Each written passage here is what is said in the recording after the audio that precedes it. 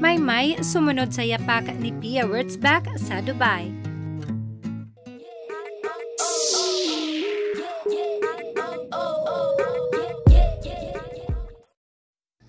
Si Miss Pia Wurtzbach, Miss Universe 2015, ang latest featured cover ng Expedition Magazine. Nag-photoshoot pa ito ng ilang araw sa Dubai exclusively for the magazine. And that is what my Mai Entrata is exactly doing now.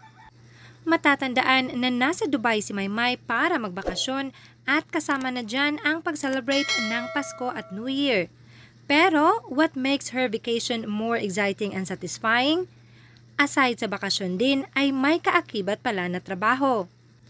Business and pleasure all in one.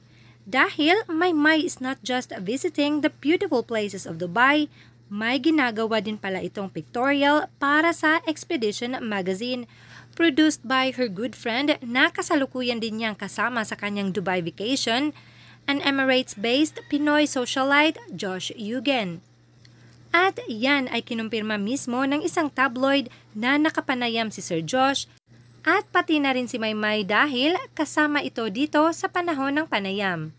Napaka-exciting nga naman talaga ang panahon ni Maymay sa Dubai, napaka-worthwhile. Walang tapo na araw and it proves to be a very good decision para kay Maymay. Hindi lang sa natagpuan niya ang kanyang sarili, nakatagpo rin siya ng second family kina Sir Josh, And now, she is pursuing a big part of her dream at yan ay ang pagmumodel.